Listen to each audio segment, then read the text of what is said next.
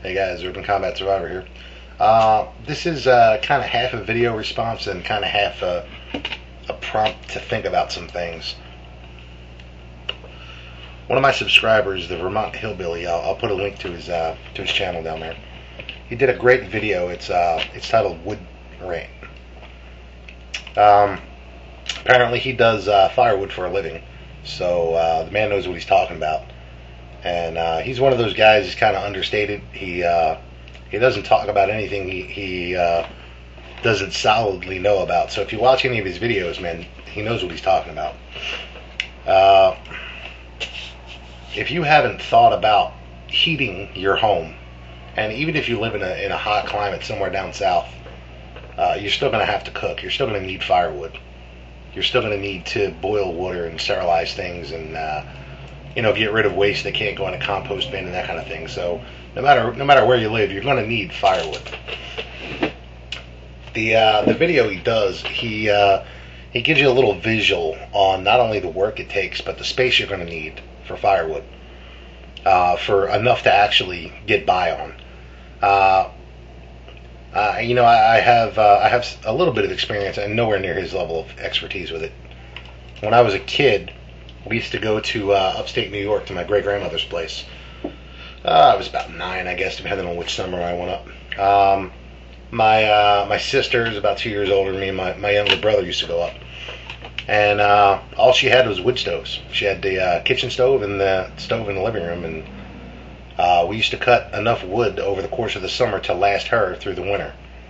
She had a tiny, tiny little place. Um, it wouldn't even be considered a rancher now, and the amount of wood that we had to put up to make sure she she went through the winter okay. Um, you know, it's eye opening. So, it, you know, I, I've seen, he talks about some of the videos that he's seen where guys have a, you know, a little tiny stack of wood. Um, you can't even measure it in cords. It's like a wheelbarrow full and uh, maybe two wheelbarrows, you know. But uh, that's nowhere near enough. So if you haven't thought about how much space you're going to need to put wood up, firewood that is, um, and you're also going to have to realize this wood needs to season. You, can burn it green, but you don't want to do that. It's uh, it's going to clog up your chimney, and it's uh, it can cause chimney fires and all kinds of other crap. You don't you don't want to do that. You need to dry it for at least nine months.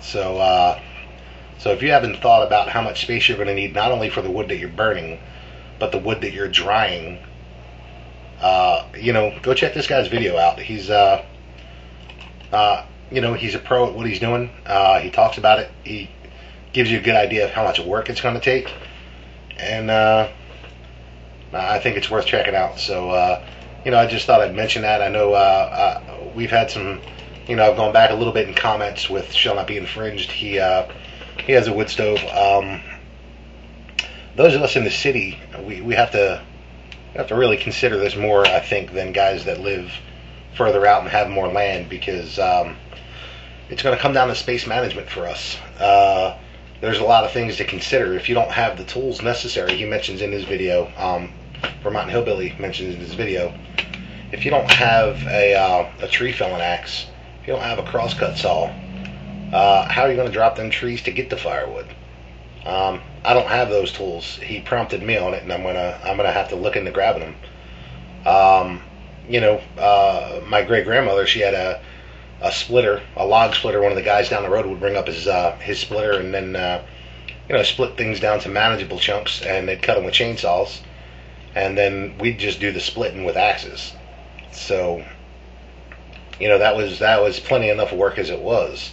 Now you're going to have to do everything manually, so it's, it's something to think about. A couple other things to think about where that's concerned is there's a there's about a million critters that love to live in firewood piles so uh, vermin are definitely going to be a problem, and it's uh, it's something you need to consider when you're uh, talking about stacking wood, man. Um, you can't stack it in your house uh, unless you're going to have a cat or two, uh, and uh, you don't want to even stack it right up against the side of your house because moisture and there's a lot of there's a lot of a lot of shit to consider with it. So make sure you've realistically put space aside for any wood that you're planning on getting.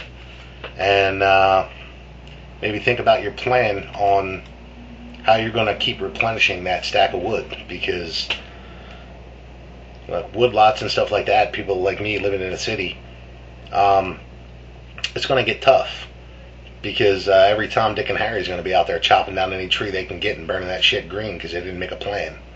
So, uh, you know, if if you're making provision for any kind of wood burning or coal burning, you need to think about where you're going to put that, how you're going to stack it, how you're going to replenish it, and uh, how you're going to keep vermin from living in those piles and those stacks. So uh, check out the guy's video. Like I said, I'll link it below, and uh, and think on it. Think about space management. Think about uh, you know you can't put it in the mud because you know uh, and there's a million different things you can Google about it, but. Um, I hope you're thinking about it realistically, and if you're not, I hope this is a reality check that helps you out. Urban Combat Survivor, sign.